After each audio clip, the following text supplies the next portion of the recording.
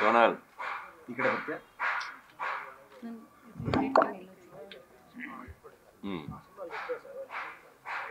Start. ಎಲ್ರಿಗೂ ನಮಸ್ಕಾರ.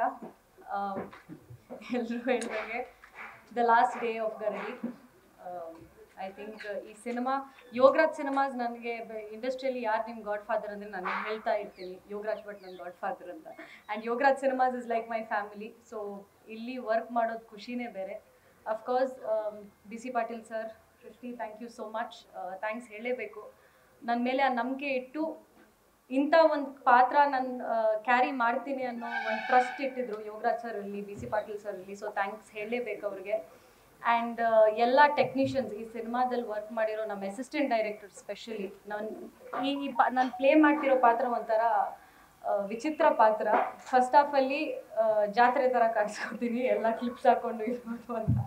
Second half ಅಲ್ಲಿ ನಾರ್ಮಲ್ ಆಗಿ ಕಾಣಿಸ್ಕೊತೀನಿ. ಸೊ ಫಸ್ಟ್ ಹಾಫ್ಗೆ ನನ್ ತುಂಬಾ ಅಂದ್ರೆ ತುಂಬಾ ಈ ಅಸಿಸ್ಟೆಂಟ್ ಯೋಗಿ ಇರಲಿ ಶ್ರೇಯಸ್ಸು ಶಂಕರ ನಮ್ಮ ಅಸಿಸ್ಟೆಂಟ್ ಡೈರೆಕ್ಟರ್ಸ್ ತುಂಬಾ ಅಂದ್ರೆ ತುಂಬಾ ನನ್ನ ಕಾನ್ಫಿಡೆನ್ಸ್ ನಾನು ಆಕ್ಚುಲಿ ಈ ಕ್ಯಾರೆಕ್ಟರ್ ಮಾಡೋಕ್ಕಾಗತ್ತೆ ಅಂತ ಅನ್- ಅನ್ನೋ ಒಂದು ಕಾನ್ಫಿಡೆನ್ಸ್ ನನಗೇನು ಇರಲಿಲ್ಲ ಟು ಬಿ ಫ್ರ್ಯಾಂಕ್ ಬಟ್ ನಾನು ತುಂಬಿಸಿದ್ದೀನಿ. ಅಫ್ಕೋರ್ಸ್ ಎಲ್ಲರೂ ತುಂಬ ಅಂದರೆ ತುಂಬ ಕಾನ್ಫಿಡೆನ್ಸ್ ಬೂಸ್ಟ್ ಮಾಡಿದ್ದಾರೆ ನನಗೆ ಈ ಪಾತ್ರಕ್ಕೆ. ಆ್ಯಂಡ್ ಫೈನಲಿ ಸಿನಿಮಾ ತುಂಬ ಅಂದರೆ ತುಂಬ ಚೆನ್ನಾಗಿ ಬಂದಿದೆ.